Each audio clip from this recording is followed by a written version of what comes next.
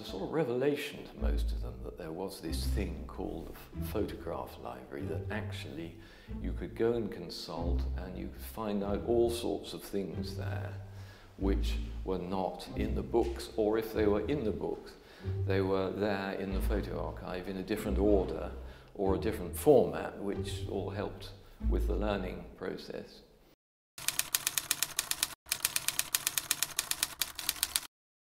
Well, that was for the Richard Wilson catalogue, um, catalogue raisonné online, because that's what I came here uh, as a research fellow especially to, to do. Really, I had a sort of tabula rasa in a way. You know, here's Wilson, tell us about him in the most comprehensive way you can, using and identifying and tracing every possible known and unknown work of art by this really quite, in some ways, quite a sort of under um, valued artist. One of Richard Wilson's most famous landscapes is a picture called Ego Fui in Arcadia. I too was in Arcadia.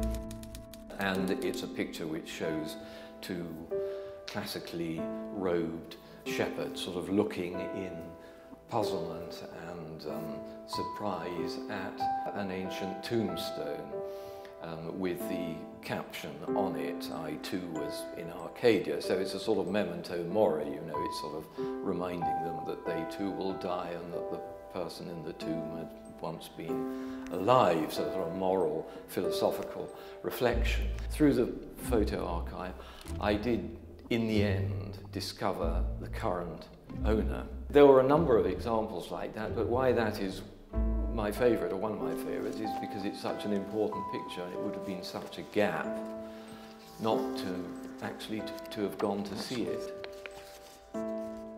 Serendipity is very important. It's one of the major advantages of, of photo archive. You might be working through, um, through a file and you would come across something that you had no idea existed before.